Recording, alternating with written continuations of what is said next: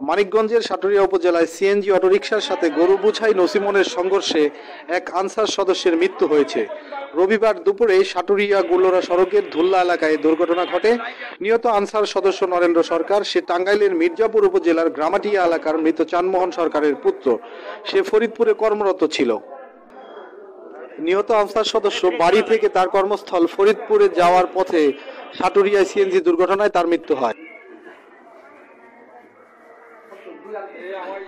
নিহত আনসার সদস্য নরেন্দ্র সরকার ফরিদপুরে যাওয়ার জন্য সাটুরিয়া থেকে সিএনজি করে গোলোরা যাওয়ার পথে সাটুরিয়া গোলোরা সড়কের ধুল্লা নামক এলাকায় তাকে বহনকারী সিএনজির সঙ্গে বিপরীত দিক থেকে আসা গুরু বুঝাই নসিমনের সংঘর্ষ হয়।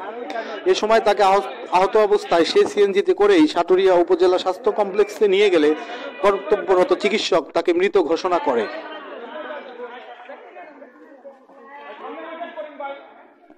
পরে খবর পেয়ে সাটুরিয়া থানা পুলিশ তার লাশ উদ্ধার করে ময়নাতদন্তের জন্য মানিগঞ্জ সদর হাসপাতাল মর্গে প্রেরণ করেছে।